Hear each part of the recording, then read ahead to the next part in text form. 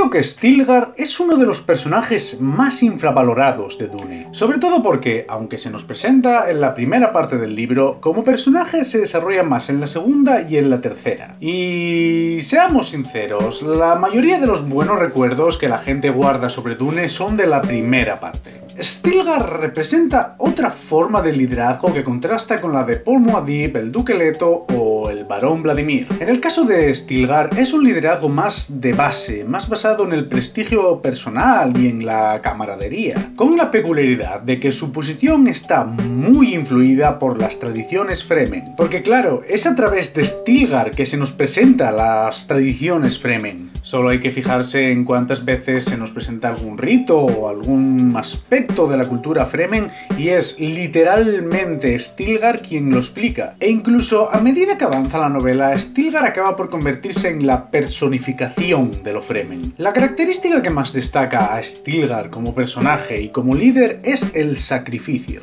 Esto entronca con los propios Fremen porque todo en la cultura Fremen se basa en el sacrificio. Solo mediante el sacrificio constante de uno mismo se logra sobrevivir en los desiertos de Arrakis. La combinación entre tradiciones y sacrificio hace que, en mi opinión, Stilgar tenga uno de los momentos más interesantes de la segunda mitad del libro. Me refiero a esa parte en la que se nos dice cómo Stilgar está planteándose desafiar a Paul Muad'Dib a un combate a muerte, porque las tradiciones especifican que el líder de un grupo de Fremen tiene que ser el más fuerte entre los Fremen. Si hay alguien más fuerte que el jefe, este puede perder autoridad, y esto a su vez puede llevar a la destrucción total de todo el grupo. Esto genera una tensión muy grande en Stilgar, porque no puede ignorar las tradiciones Fremen ni permitir que su autoridad como jefe de su grupo de Fremen se vea cuestionada por la presencia de Paul Muad'Dib y tampoco puede permitirse matar a Muad'Dib porque sabe que solo a través de él los Fremen van a conseguir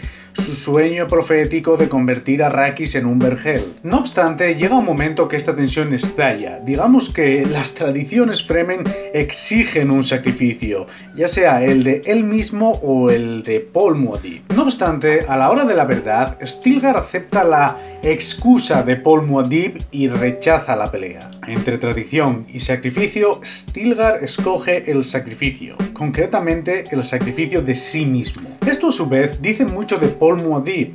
Vemos aquí cómo Paul consigue algo que su padre no consiguió, que era alterar las tradiciones de Arrakis. Y también nos dice algo muy interesante de Stilgar, porque al rechazar este combate no solo sobrevive a los eventos de Dune, también se eleva como líder por encima de los demás, por encima del Duque Leto, del Barón Vladimir e incluso de Paul Muad'Dib, porque Stilgar es el único de todos ellos que pone sus sueños, sus objetivos por encima de todo, incluso por encima de sí mismo. Al final del libro hay un párrafo que me gusta muchísimo en el que Paul se da cuenta de cómo eh, Stilgar ha cambiado, de cómo Stilgar ya no es un jefe Fremen fuerte y orgulloso y ahora es prácticamente un lacayo de Muad'Dib, lo cual sirve para llamar atención sobre una de las líneas argumentales que se inician al final del primer libro de Dune, la historia de cómo los Fremen viven y sobreviven a su propia profecía. Pero bueno, esto ya lo veremos en el siguiente libro.